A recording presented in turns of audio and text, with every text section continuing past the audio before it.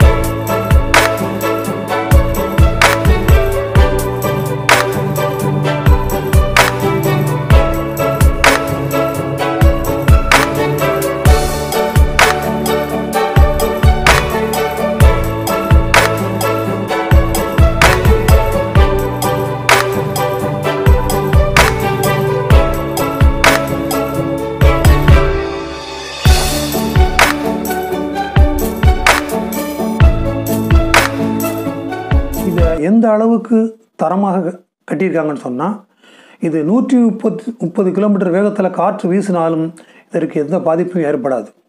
அதே போல் பூமி அதிர்வு ஆறு புள்ளி ஐந்து அளவுக்கு ஆறு புள்ளி ஐந்து ரெக்டார் அளவுக்கு ஏற்பட்டாலும் இந்த சிலைக்கு எந்த சேதமும் ஏற்படாது.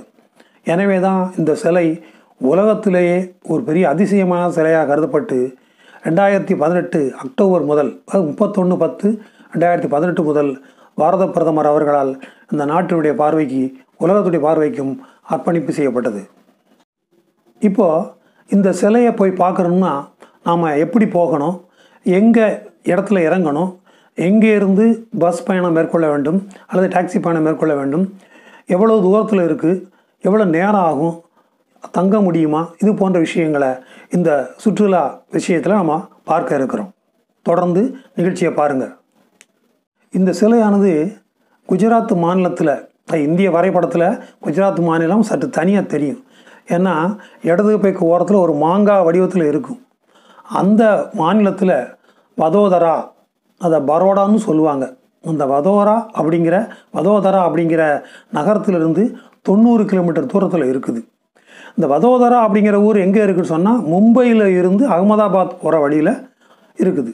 அதாவது அகமதாபாத்துக்கு முன்னாடி ஒரு மூணு மணி நேரம் பயணத்துக்கு முன்னாடியே இந்த ஊர் வந்துடும் அகமதாபாத்தில் இருந்து இரநூறு கிலோமீட்டர் தூரத்தில் இருக்குது சூரத் அப்படிங்கிற நகரத்துலேருந்து நூற்றி ஐம்பது கிலோமீட்டர் தூரத்தில் இருக்குது எவ்வளோ இருந்தாலும் நியரஸ்ட் ரயில்வே ஹெட் என்பது பார்த்தீங்கன்னா அது வதோதரா பரோடா அப்படிங்கிற ரயில்வே ஸ்டேஷன் தான். இந்த ஸ்டேஷனுக்கு தென்னிந்தியாவிலேருந்து நாம் போகக்கூடிய எல்லா அகமதாபாத் போகக்கூடிய எல்லா ட்ரெயினுமே இங்கே ஸ்டாப் உண்டு. அப்படி ட்ரெயின் இல்லைன்னா கூட மும்பை வரைக்கும் போய் மும்பையிலேருந்து அகமதாபாத் போகிற எல்லா ட்ரெயின்லேயும் பகல் நேர ட்ரெயினில் கூட நிறைய அங்கே சர்வீஸ் இருக்குது. அதில் போய் மதோதரால் இறங்கிக்கலாம் இந்த செலவினுடைய உண்மையான கரெக்டான அமைவிடம் எது எதுன்னு பார்த்தோம்னா கேவாடியா கேஇ விஏடிஐஏ கேவாடியா அப்படிங்கிற ஒரு டவுன் சிறு நகரத்தில் அங்கேருந்து ஒரு மூன்றரை கிலோமீட்டர் தூரத்தில் இது அமைஞ்சிருக்கு. இது பஸ்ஸில் போகிறவங்களுக்கு இந்த கேவாடியா அப்படிங்கிற நகரத்துக்கு தான் போய் இறங்கணும். ஆனால் என்னை பொறுத்த வரைக்கும் என்னுடைய அனுபவத்தில் நீங்கள் ஐந்து அல்லது ஆறு பேர் அல்லது எட்டு பேர் கூட போனால் கூட போதும். வதோதரா ஸ்டேஷனுக்கு வாசலில் வந்த உடனேயே இப்போ அந்த சிலையை சுற்றி பார்க்குறதுக்குன்னே அது பெரிய டூரிஸ்ட் மயமாக மாறி போச்சு. அதுக்கு போனாலே அந்த சிலையை பார்க்குறதுக்கு வரீங்களான்னு சொல்லி ஆட்களை சேர்த்துக்கிட்டு தான் இருக்கிறாங்க. அதனால் எந்த பிரச்சனையும் கிடையாது. குறிப்பாக நீங்கள் ஆறு பேர் ஏழு பேர் எட்டு பேர் போனால் கூட ஒரு தனிப்பட்ட முறையில் ஒரு டாக்ஸி அமர்த்திட்டு போய் அங்கே பார்த்துட்டு வந்துடலாம் இந்த சிலையானது வாரத்தில் ஆறு நாட்கள் மட்டுமே திறந்திருக்கும். அதாவது திங்கட்கிழமை மட்டும் இதுக்கு விடுமுறை மெயின்டெனன்ஸ்க்காக மற்ற செவ்வாய்க்கிழமை முதல் ஞாயிற்றுக்கிழமை வரை இதுக்கு நீங்கள் போகலாம். குறிப்பாக நீங்கள் சனி ஞாயிறு மற்றும் அரசு விடுமுறை தினங்களில் இங்கே போகிறத தவிர்த்துக்கிடுங்க. ஏன்னா கூட்டம் அதிகமாக இருக்கும். அது ஒரு காரணம். அது மட்டும் இல்லை இந்த சிலையை நீங்கள் அதிகாலையில் ஒன்பது மணிக்கு அந்த சிலை இருக்க இடத்துக்கு போயிட்டீங்கன்னா கூட்டம் இல்லாமல் எளிதாக பார்த்துட்டு வந்துடலாம் வதோதரா ஸ்டேஷனில் இருந்து உங்களை கூட்டிக்கிட்டு போய் அந்த சர்தார் வல்லபாய் பட்டேல் சிலையை சுற்றி காமிச்சிட்டு அங்கேயே இருந்து கிட்டத்தட்ட நாலு மணி நேரம் ஆனாலும் பரவாயில்ல இருந்து உங்களை திருப்பி கூட்டு வந்து வதோதரா ஸ்டேஷன்லேயே விடுற அளவுக்கு டாக்ஸி வசதிகளும் அங்கே நிறைய இருக்குது. அதனால் நீங்கள் இதுதான் என்னை பொறுத்த வரைக்கும் இது ஒரு பெஸ்ட் ஐடியா. உள்ள உணவு வகைகள் எதுவும் எடுத்துகிட்டு போக அனுமதி கிடையாது. ஆனால் கேமரா செல்ஃபோன் அலவுடு தான் அதில் ஒன்றும் பிரச்சனை கிடையாது. உள்ள உணவு எடுத்துட்டு எடுத்துகிட்டு போகக்கூடாது ஆனால் அதே சமயத்தில் நீங்கள் டிக்கெட் கவுண்டருக்கு அந்த பக்கமே நிறைய உணவு வகைகள் டீ காஃபி தண்ணி பாட்டில் எல்லாமே கிடைக்குது. தண்ணி பாட்டில் கொண்டு போகிறதுல எந்த பிரச்சனையும் கிடையாது. அது மட்டும் இல்லை நீங்கள் டிக்கெட் எடுத்தாலும் சரி ஆன்லைன் டிக்கெட் கொண்டு போனாலும் சரி அந்த டிக்கெட் கவுண்டரில் இருந்து கிட்டத்தட்ட ஒரு ரெண்டு கிலோமீட்டருக்கு அந்த பக்கம் வரைக்கும் நடந்து போக வேண்டிய அவசியம் கிடையாது. ஏன்னா அந்த சிலை அவ்வளோ தூரத்தில் இருக்கு. அந்த டேமுக்கு நடுவில் அந்த டேமை நோக்கி இருக்குது. ஆனால் அதுக்கு அங்கே ஏசி சொகுசு பேருந்துகள் நிறைய விட்டுருக்குறாங்க. அதுக்கும் நீங்கள் வாங்குற டிக்கெட்லேயே அந்த கட்டணம் அடங்கிடும். எனவே அதுக்கு நீங்கள் தனியாக டிக்கெட் இருக்க வேண்டிய அவசியம் கிடையாது. அந்த பஸ்ஸுகள் சுற்றி சுற்றி வர்றதுனால நீங்க வரிசையா நிறைய பஸ்ஸுகள் இருக்கு. எவ்வளவு கூட்டம் இருந்தாலும் அதை போதுமான அளவுக்கு நிறைய பஸ்ஸுகள் விட்டுருக்காங்க. அது இந்த திருப்பதிக்கு பஸ் போன மாதிரி அது ஸ்பெஷல் பஸ் போன மாதிரி அந்த பஸ்ஸுகள் சுற்றி சுற்றி வருது. அதனால அதுல எந்த விதமான பிரச்சனையும் இல்லை. அதே போல அந்த பஸ்ஸை விட்டு இறங்கின பிறகும் உள்ளுக்குள்ள ஒரு ஒரு கிலோமீட்டர் அளவுக்கு நடந்து போகணும். ஆனா அதுக்கு எந்த பயமும் வேண்டாம். ஏன்னா உடல் ஊனமுற்றவர்களுக்கு உட்பட அங்க பூரா எஸ்கலேட்டரும் மாடி படிவகைகளும் நிறைய இருக்குது. அது மட்டும் இல்ல நடந்து போற இடங்கள்ல கூட ஒரு சில இடம் எஸ்கலேட்டர் வச்சிருக்கிறாங்க. ஒரு அவங்களுக்கு இந்த உடல் குணமுற்றுக்கான நாற்காலி சக்கர நாற்காலியும் கூட அங்க தயாரா வச்சிருக்கிறாங்க. எனவே அவர்கள் அந்த சிலையின் கால் பகுதி வரை அந்த தள்ளுவண்டியில போற அளவுக்கு அங்க எல்லா வசதியுமே செய்து கொடுத்துருக்குறாங்க. மேலும் இதுக்கு மேற்கொண்டு நீங்க சுற்றி பார்க்கணும் விரும்புனீங்கன்னா அந்த டேமுக்குள்ள தண்ணி நிறைய இருக்கும்போது ஒரு போட் சர்வீஸ் விட்டுருக்குறாங்க. அதுக்கு இரநூத்தி தொண்ணூறு ரூபாய் வசூல் பண்றாங்க. அது மட்டும் இல்ல ஹெலிகாப்டர்ல சுத்தி பார்க்க விரும்பினா கூட அதுக்கு ஒரு நபருக்கு ரெண்டாயிரத்தி தொள்ளாயிரம் ரூபாய் பத்து நிமிஷம் பறக்கிறதுக்கு அதுவும் செய்யறாங்க. வசதிப்பட்டவங்க அதையும் பயன்படுத்திக்கிடுங்க. இப்போ இதற்கான டிக்கெட் ரேட்டுகளை நம்ம பார்ப்போம். இனி நுழைவு கட்டணம் அதாவது டிக்கெட் ரேட்டை பற்றி பார்ப்போம். இப்போ இது உள்ளே நுழைஞ்சு சுற்றி பார்க்குறதுக்கு மொத்தம் ஒரு இரண்டு வகையான டிக்கெட் வச்சுருக்காங்க. அதாவது அந்த சர்தார் வல்லபாய் பட்டேலுடைய சிலையுடைய பாதம் வரைக்கும் போய் அதை நின்று சுற்றி நின்று சுற்றி பார்க்கலாம் ஃபோட்டோ எடுக்கலாம் அங்கேருந்து நீ அணைக்கட்டை பார்க்கலாம். அதுக்கு டிக்கெட் எவ்வளோ கேட்டிங்கன்னா ஒரு நபருக்கு நூற்றி இருபது ப்ளஸ் முப்பது நூற்றி இருபது ரூபா டிக்கெட்டு முப்பது ரூபா பஸ் கட்டணம் ரெண்டும் சேர்ந்தே வந்துடும் நீங்கள் பஸ்ஸுக்குன்னு தனியாக டிக்கெட் எடுக்க வேண்டிய அவசியம் இல்லை. இதுவே குழந்தைகளுக்காக இருந்தால் மூன்று வயது முதல் பதினைந்து வயது வரைக்கும் உள்ள குழந்தைகளாக இருந்தால் அதுக்கு அறுபது ப்ளஸ் முப்பது தொண்ணூறுரூவா டிக்கெட் இப்போ இது போக இன்னொரு டிக்கெட் இருக்குது அந்த டிக்கெட் எதுக்காகன்னு சொன்னால் இதே போல் அதுவும் சுற்றி பார்க்கலாம். ப்ளஸ் கூடுதலாக ஒரு சலுகை என்னென்னா அந்த சர்தார் வல்லபாய் பட்டேலுடைய சிலைக்கு நடுவில் ஒரு நானூறு மீட்டர் உயரத்தில் அதாவது அவருடைய மாறுபாளவு வரைக்கும் ஒரு போகக்கூடிய ஒரு லிஃப்ட்டு ஹை ஸ்பீடு லிஃப்ட்டில் நம்ம போய் அந்த சிலையினுடைய மார்பில் இருந்து சுற்றுப்புறத்தை பார்வையிடலாம். அது பார்க்கறதுக்கு ரொம்ப பிரம்மாண்டமாக இருக்கும்.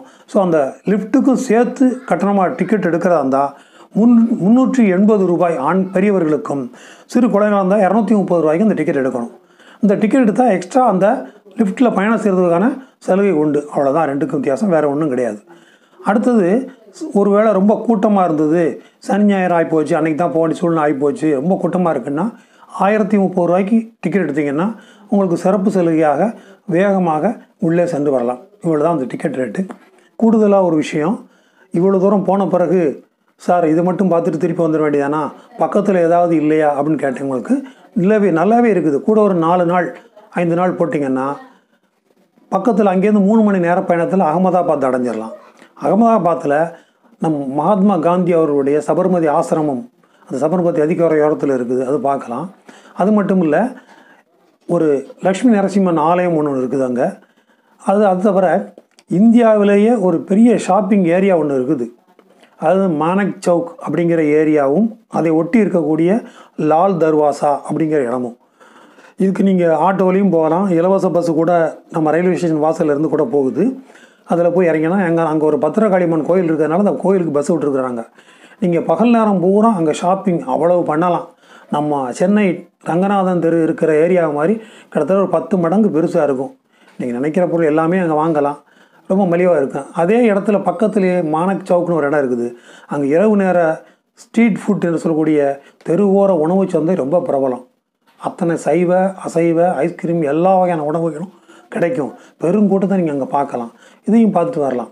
அதே போல் அகமதாபாத்திலிருந்து ஒரு ஆறு ஏழு மணி நேரம் பயணத்தில் ட்ரெயின்லேயும் போகலாம் பஸ்ஸுலேயும் போகலாம். Bhavnagar terminals. Bhavnagar terminals அப்படிங்கிற இடத்துல ஒரு சிவன் கோயில் ஒன்று இருக்குது அந்த ஸ்டேஷன்லேருந்து இருபத்தி நாலு கிலோமீட்டர் ஆற்று நிறைய போகுது. அது வந்து நிஷ்கலந்த் மகாதேவ் ஆலயம். அதாவது கடலுக்குள்ளே அந்த ஆலயம் இருக்குது. காலையில் ஒரு சில மணி நேரங்களில் மட்டும்தான் கடல் உள்வாங்கிரும். அந்த நேரத்தில் போய் சாமி கும்பிட்டு வரலாம். இது பஞ்சபாண்டவர்கள் இந்த சிலையை பிரஸ்டிஜை பண்ணி அதை கும்பிட்டுட்டு வந்ததாக அதில் சொல்கிறாங்க ஸோ அந்த ஆலயத்தை பார்த்து வரணும்னா நீங்கள் அந்த பாவு நகர் அப்படிங்கிற ஏரியாவுக்கு போனீங்கன்னா அங்கேருந்து இருபத்தி நாலு கிலோமீட்டரில் நிறைய ஆட்டோ இருக்குது. அந்த ஸ்டேஷனை விட்டு வெளியே வந்தீங்கன்னா போகலாம். அடுத்து அங்கேருந்து பக்கத்தில் ரொம்ப பிரபலமான ஜோதிர்லிங்கம். அதாவது சிவபெருமானுக்கு பன்னிரெண்டு ஜோதிர்லிங்கம் இருக்குது அந்த ஜோதிர்லிங்கத்துடைய முதலாவது ஜோதிர்லிங்கமாக கருதக்கூடிய சோமநாதம் ஆலயம் சோமநாதபுரம் ஆலயம். அது நம்ம தமிழில் படிச்சிருக்கோம் சோமநாதபுரம் சொல்லி. இந்த சோமநாத்புரம் ஆலயத்தை பார்த்தீங்கன்னா விசேஷம்னா கஜினி முகமது பதினெட்டு தடவை நகைகளை வைரத்தையும் கொள்ளடிச்சு போனார் இல்லையா? அந்த ஆலயம் தான் அது. அது ஒரு ஜோதிர்லிங்கம். அதுவும் கடற்கரை ஓரத்தில் இருக்குது அங்கே போகணும்னா நீங்கள் விராவல் அப்படிங்கிற ஸ்டேஷனுக்கு போகணும். விராவல் அப்படிங்கிற ஸ்டேஷனுக்கு அங்கேருந்து ஒரு நாலு ஐந்து மணி நேரம் பயணமாக இருக்கும். பஸ்லேயும் போகலாம். அல்லது ட்ரெயின் ஏறியும் போகலாம். அதன் பிறகு அங்கே இருந்து பார்த்தீங்கன்னா நேராக ஓஹா அப்படின்னு கேள்விப்பட்டிருப்பீங்க. நம்ம ராமேஸ்வரத்துலேருந்து ஓஹா எக்ஸ்பிரஸ் போகுது. அதுபோல் தூத்துக்குடியிலேருந்து விவேக் எக்ஸ்பிரஸ் ஓஹா அப்படின்னு இங்கே இடத்துக்கு போகுது. இந்த ஓஹா அப்படிங்கிறது வந்து நீங்கள் குஜராத் மாநிலத்துடைய அமைப்பு மாங்காய் மாதிரி இருக்கும் இல்லையா? அந்த மாங்காவுடைய கடைசி விளிம்பு வரைக்கும் போகக்கூடிய ஊர் தான் அந்த இருக்கக்கூடிய ஊர் தான் ஓஹா. அந்த ஓகாங்கிறதுக்கு முந்தின ஸ்டேஷன் தான் துவாரகா அப்படின்னு ஒரு ஸ்டாப் இந்த துவாரகாங்கிறது கிருஷ்ணர் ஆட்சி செய்த இடம். அங்கே அவருக்கு ஒரு கோயில் இருக்குது அது மட்டும் இல்லை சிவபெருமானுடைய இன்னொரு ஜோதிர்லிங்கமாகிய நாகநாத் மகாதேவ் ஆலயம் அப்படின்னு ஒன்று இருக்குது ஆலயத்தை ஹிந்தியில் மந்திர்னு சொல்லுவாங்க. ஸோ நாகநாத் நாகநாதன் மந்திர் அப்படின்னு ஒன்று இருக்குது அங்கே போய் நீங்கள் தரிசனம் பார்க்கலாம். அது மட்டும் இல்லை துவாரகா பக்கத்திலேயே பேடு துவாரகா அப்படின்னு சொல்கிறாங்க கடலுக்குள்ளே ஒரு ரெண்டு மூணு கிலோமீட்டர் ஒரு பெரிய படகுல கூட்டு போகிறாங்க குறைவான கட்டணம் தான். அங்கேயும் போய் கிருஷ்ணர் வாழ்ந்த ஆட்சி செய்த அந்த மாளிகையை நீங்கள் பார்த்துட்டு திரும்பி வெற்றிகரமாக அங்கே இருந்து நேரடியாக மும்பை வந்தோ அல்லது ஓகால இருந்து நேரடியாக அகமதாபாத் முன் மும்பைக்கு வண்டி இருக்குது அங்கேருந்து திருப்பி சென்னைக்கு திருப்பி வந்துடலாம் எனவே இது சம்மந்தப்பட்ட முழு தகவலையும் என்னால் முடிந்த அளவு கொடுத்துருக்கிறேன். மேற்கொண்டு உங்களுக்கு ஏதாவது சந்தேகம் ஏற்பட்டால் கீழே உள்ள என்னுடைய ஃபோன் நம்பருக்கு ஃபோன் பண்ணி கேட்டுக்கலாம். உங்களுடைய பயணம் திட்டமிட்டு சிறப்பாக அமைய என்னுடைய அட்வான்ஸ் வாழ்த்துக்களை தெரிவித்துக்கொண்டு விடைபெறுகிறேன். நன்றி வணக்கம்.